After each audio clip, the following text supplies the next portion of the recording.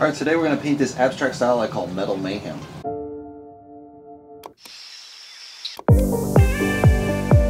All right, the question of the day is, what is neoplasticism?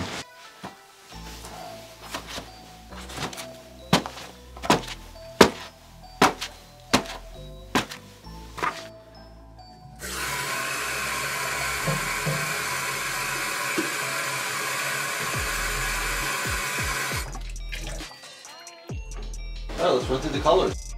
Primary yellow. Cad yellow. Mars black. Titanium white. Turquoise phthalo. Phthalo green. Ultramarine blue. Quin blue. Van Dyke brown. Raw sienna. Quin red.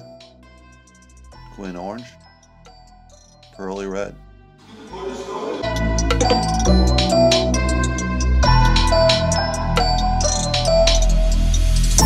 All right, so we just got finished. We got this kind of layering with the white and then it's going into the green on that side. It's kind of forming a nice green. We got some turquoise down here and then we're gonna blue up that side. I think what we're gonna do now is add a burnt orange and then maybe a yellow to kind of pull that together.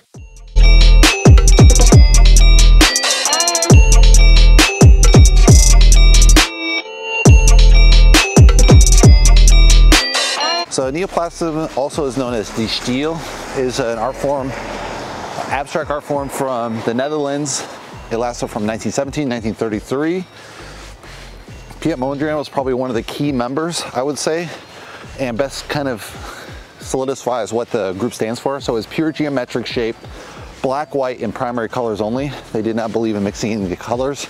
So it's a really extreme version of abstraction and geometric work.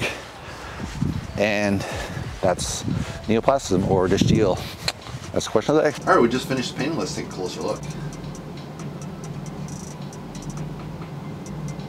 So I have this really nice dark uh, orange sitting against the really light white with a little bit of blue, a little bit of yellow there. It fades into a nice green, which forms from the yellow mixing with the quin blue. Got the orange coming out through again, so a nice contrast to yellow. You got this nice cad yellow mixing in a little bit in with the uh, burnt orange, gliding over the blue, and then you got kind of a blue streak at the top. So this one has probably the least amount of color on it. Um, it's really a light painting, which is good for if you had a small living room, you'd have that kind of nice contrast between light to dark. Um, usually, generally in painting, you want to have a lot of light in your painting. So that's not a bad thing. Um, I'd say my other paintings are a little stronger. I like the higher chroma. That's, you know, my personal taste.